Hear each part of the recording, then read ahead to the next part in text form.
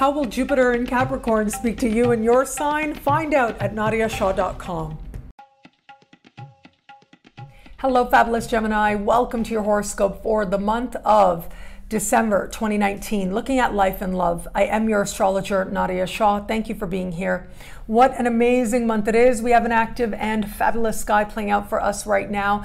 And it is in the middle of the month, right around the 12th, that we are going to have a full moon. And this is a special full moon for you because it is in your sign. Now, normally you get one full moon per sign per year, and this is your moment. And part of what makes this full moon notable is that it is connecting with Neptune in tension. And simultaneously, under the light of the full moon, we will have Venus meeting Pluto in the sky as well. And so, when it is that a full moon occurs, it tends to represent a time of truth for you, a time when you are looking at what it is that perhaps you've always known. Um, perhaps it is something that you didn't really want to look at before it's a truth rooted in emotion, ultimately. And it is about you having a moment of understanding what you really feel about a situation, perhaps one near and dear to your heart. Well, with the connection of Neptune, it does suggest that all might not be as clear as you may like. And with Venus meeting Pluto simultaneously, there is heightened emotion in the air this connection of Venus and Pluto is happening in a part of the sky that is quite intense as it is, quite emotional as it is for you. And so you bring these layers together, and it does suggest that your emotions may be more dominant at this time than necessarily a more rational uh, way of approaching a matter may be. Now, that doesn't make it any less valid, right? Your emotions matter, and what you feel does matter. But keep in mind with that Neptunian connection as well, there's um, something to be said here for, on the one hand, there can be some disappointment at this time. I'm so sorry to say. But part of this can also be realizing what isn't working and where it is that adjustments need to happen. And that can end up being tremendously empowering. Mars is speaking in supreme harmony with Neptune under the light of this full moon. And at the same time, this energy can sometimes suggest that the people whom you would most like to be honest with you, maybe that sense of forthrightness is not there as much as you had hoped. Now, regardless of how it is this energy works out, understand that this is a time of you connecting with your truth. If it's your truth, it's enough. If it matters to you, it matters. And it's possible during this time that someone tries to talk you out of what it is that you're feeling and what it is that you're perceiving. Well, even if those particular uh, ways of looking at a situation have their value for you to contemplate, at the same time, if you are having an emotional reaction, or if it's a time when you're having to look at a disappointment, perhaps a past disappointment, there can be value in allowing yourself to feel it as well. It is cleansing to give yourself permission to feel the disappointments of the past so that you really can put them behind you. There is something very empowering about admitting to yourself what it is that you really feel and what it is you really want, and then realizing where you've put enough energy or where it is maybe you need to push just a little bit more. Your answers will be uniquely your own. But it is important that you practice healthy self care, especially around the full moon, and that you're taking the best of care of you and getting enough rest. All of these factors are going to be tremendously important to navigating this time well.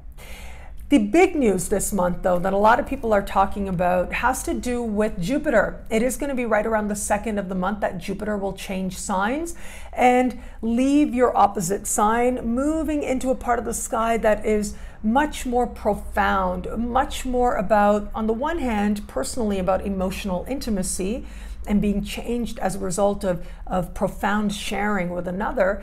But on the other, it has to do with your relationship with financial institutions. And so Jupiter moving in here, that tends to indicate prosperity and access to resources now and in the year ahead for you. It is going to be towards the end of the month, right around Christmas Day, is when we will have a solar eclipse. And this solar eclipse is meeting Jupiter in the sky.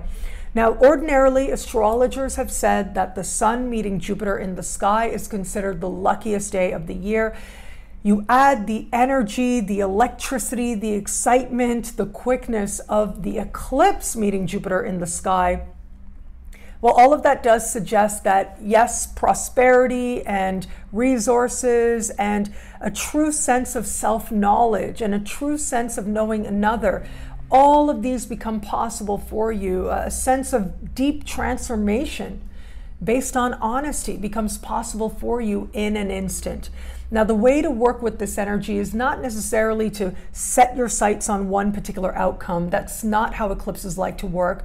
They like you to be open so that there are several pathways that maybe you don't even realize where something can be delivered that is better than anything you could imagine for yourself whether it is connecting with some source of wealth within you or whether it is in a practical sense, finally getting that uh, commission payment uh, coming through or getting a sense of where it is that you have access to resources and finding it very quickly being realized in your life. These are just some of the ways in which the universe can help you to connect with the spirit of abundance. And there is tremendous abundance available to you at the time of this solar eclipse, thanks to Jupiter being right there as well. This is essentially setting up a 12 plus month cycle, but it starts like in a very accelerated kind of way, in a way that will start to make it very clear how it is that Jupiter wants to bless your life now and in the months ahead. Now, of course, there's a Jupiter special horoscope uh, on my site, yes, but on YouTube as well in the first days of December. So be on the lookout for that for more of how Jupiter will speak to you in your sign. Now, where it comes to matters of love, I'm being brought back to that uh, particular solar eclipse in the late part of the month because it is about intimacy. The superficial is just not going to cut it. There's going to be a desire for something really authentic, something really real between you and another person. And the important thing is to stay open because if it is that you're open to meeting someone new, you might connect with somebody this month and especially uh, when I look at that solar eclipse, it's like in an instant, your connection serves as a catalyst towards more profound change. If it is that you connect with someone early in the month, you may feel like you're on a little bit of a roller coaster with this person until we get to that moment of clarity promised by the solar eclipse. For those of you who are just starting to date somebody, this is a month with truth written all over it. There might be some mixed feelings with this person in the middle of the month at that full moon. And it could be a sense of realization as to what's working with this person and what isn't, where you feel that maybe you are more invested or they are more invested, and what the truth of your own feelings is around this matter. But it is at the eclipse that some truth is reached, and it's either going to be all in or really not. So either that understanding of what it is that has brought you with this person will help the two of you to feel that much more bonded, or you'll really realize that this isn't working and you'll feel ready and excited to go in a different direction. And for those of you in an established bond, well, look, that eclipse could bring unexpected money through your spouse. And so it could be that your spouse has some kind of uh, big opportunity or windfall that presents itself to them at that solar eclipse as we get into the second part of the month. However, this energy can also be you coming to know your partner more deeply, your partner sharing with you more deeply as well. There may be a, very quick sense of the two of you progressing together very quickly and leaping your relationship forward. Well, it is based on truly feeling respected by this person and you feeling a renewed sense of respect and love for them as well. What I love about this month for you, well, look, there's so much here, but I am actually going to say that full moon in the middle of the month because it is so important to you and for you. It is going to be a time when you are getting very clear. Even amidst the confusion, Neptune is very confusing, and yet the truth is in there somewhere if you're willing to look beyond, you know, disappointments and perceptions and really get to the heart of you, you will find that there is a truth there that matters. And when you connect with that very truth, what is the next right thing to do? Well, that will be abundantly clear.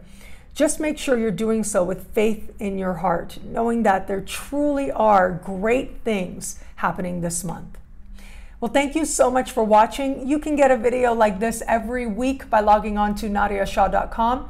Sign up to be one of my superstars. Superstars get expanded exclusive video scopes each and every week, unlimited access to special horoscopes and more. All of this in the superstar space. I look forward to meeting you there. It'll be a great month. Enjoy.